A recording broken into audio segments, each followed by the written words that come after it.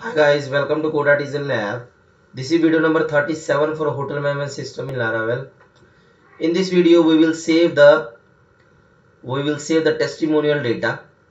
Okay, so in the in the previous page in the previous video, we have uh, created the add form for the testimonial testimonial so that customer can add the data. Okay, now in this video, we will create model migration so that we can add the so that customer can add the testimonial data okay? So let's log in and i will show you. So here is the things. Okay so when click when customer click on this after login then he can see that this is the form. Now let's create the let's create the data. Let's create the sorry model and migrations. So xampp htdocs laravel apps hotel manage.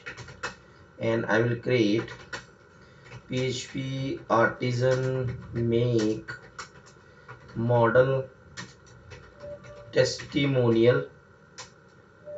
Okay? Testimonial with migration. Okay? Let's create this. So it will be created. Now let's go to let's go to models and we have testimonial model. So I think we will not do anything in this model but we will do the things in our migrations file okay?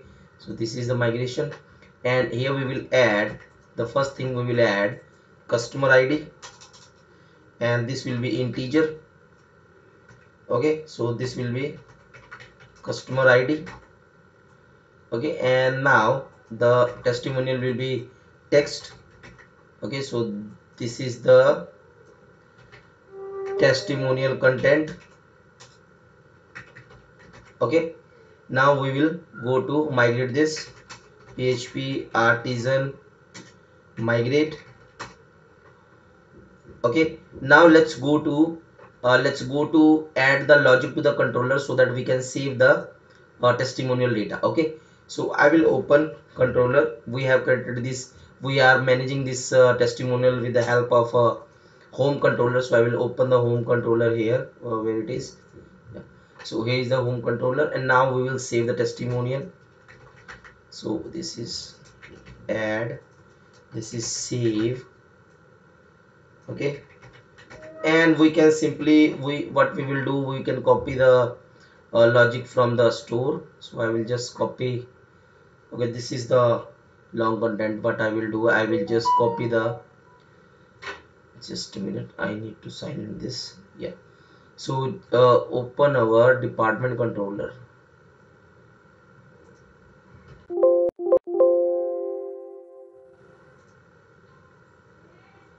So this is our controller. Okay let's open the room controller. So this is a store i will copy this uh, let's go to home and paste it here. And this will be we need to import the testimonial model. Testimonial. Okay. Copy paste here. And this will be your customer id and we will get this customer id from the login. Okay.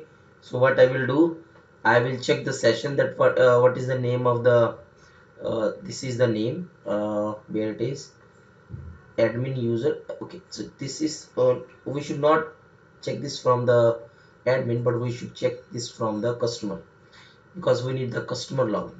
Okay so where it is check this login here. So the customer login data and in this we have data detailed data. Now what i will do uh, i will go here and paste it here. And this will be customer id so i will simply say dollar customer id equal to session customer id login. And from this we will get 0 and from the 0 we will get the id okay so this is the customer id and another thing is let's go to migration. Another thing is testimonial content. Content i will say content. Okay now let's go to our template. Where it is. Sources views and add testimonial and we will add the name here. And this is the save testimonial. Save testimonial and we need to create the related route for this. Okay so what i will do i will go to who portal manage routes uh, web and uh, here is the add testimonial we will copy this and we will uh, what i will okay paste it here. So this will be save testimonial and it should be what it is. Yeah fine no problem. And uh, home controller we will save this. Okay so everything is fine now?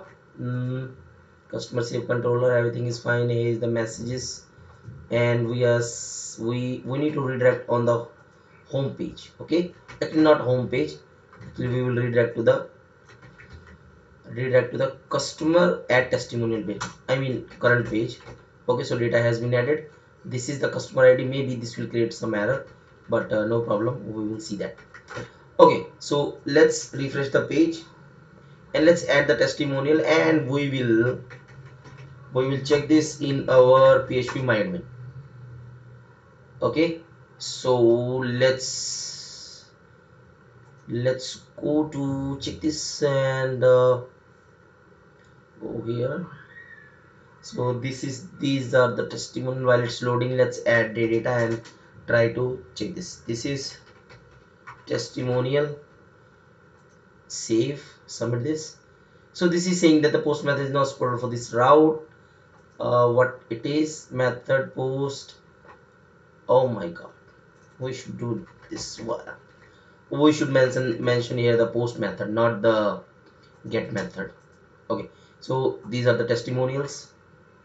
Now let's add here something. Submit. So trying to access array of student the value bool. Okay. Fine. So what i will do here i'll just print the i'll just print the customer session then i will get the value. Okay so i will just print here. So this is saying true. Okay. So why it is saying true? We need data. Okay. This should be from the data not from the login. So data has been items and we have zero. So we can simply add here the data. Okay now let's check this. So this is saying undefined variable request so where is the request? Oh my god. We need to pass here the instance. Okay. So data has been added. Let's check this. Refresh. Data has been added. A customer id but why it is not showing the message? Has error. And else let's check this. Uh, let's say we have if success then we will show the success okay? And if error actually we are not say, uh, showing the errors. Okay? But we are only showing the success. So what I will do here I will just simply uh, refresh the page submit this. So data has been added but it is showing in the fine. So we have simply created the uh, testimonial adding section. Okay?